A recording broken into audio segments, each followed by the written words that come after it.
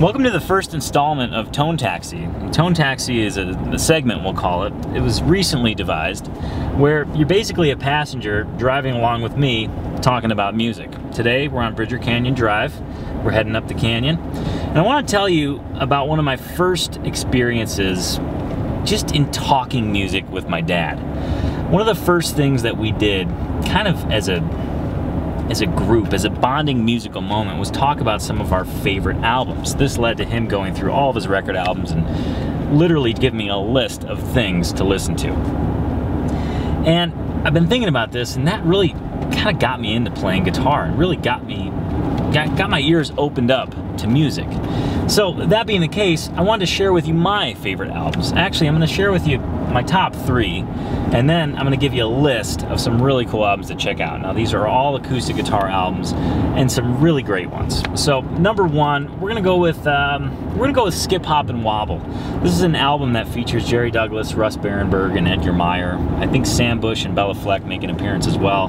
And talk about hot acoustic bluegrass instrumentation, instrumental music. Great picking, great tones, really, really cool tunes. I'm also going to throw out uh, Tony Rice's Church Street Blues. This is an album that features Tony Rice and really his guitar. It's just him sitting down and playing. Some of them are instrumentals, some of them are vocal tunes. Uh, he's got a killer voice, his guitar sounds great, and it's an album that you gotta have in your collection.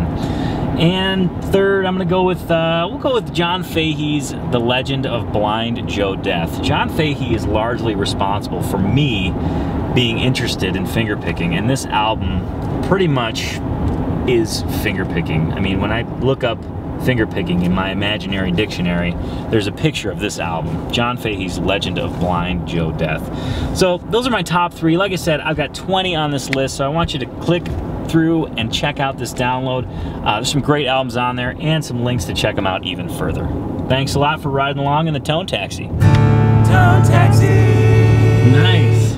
I think I called it Tone Talk. No, you said Tone Taxi. Did I? Yeah. If you're an acoustic guitar geek, you've just arrived home. You are at the epicenter of all acoustic guitar geekdom right this very second. So I want you to sign up for our YouTube channel so you don't miss any of our awesome interviews with players, luthiers, or our gear reviews, or anything else that we do that's just acoustic guitar related and awesome. So please subscribe right now by clicking the button.